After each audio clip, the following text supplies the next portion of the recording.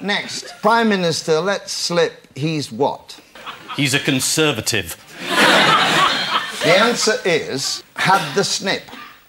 This is the Prime Minister of New Zealand who told reporters he had a vasectomy. Mind you.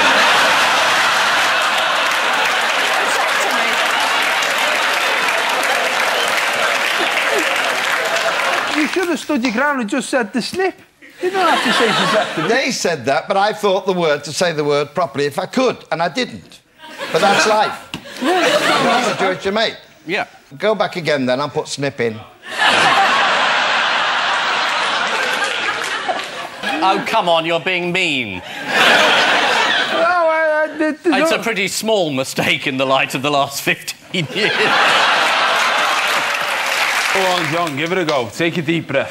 Well, okay then. Think of being Okay. handed a very, very delicate Okay. vase, piece of porcelain, and, you know, in a, in a sort of vase. Ec to me. There we are. Don't stop me, I think I've got it.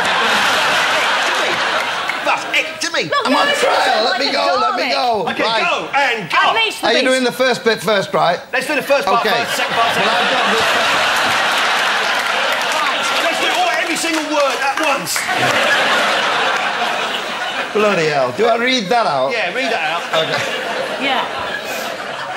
Do you want to, God's sake, give him some more?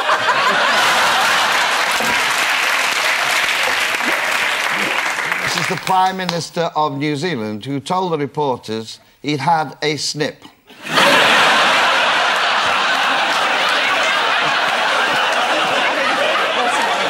This could be confusing. This could be confusing. If you went to the barber's and he says, "Do you fancy a snip behind the ear?" Before we go...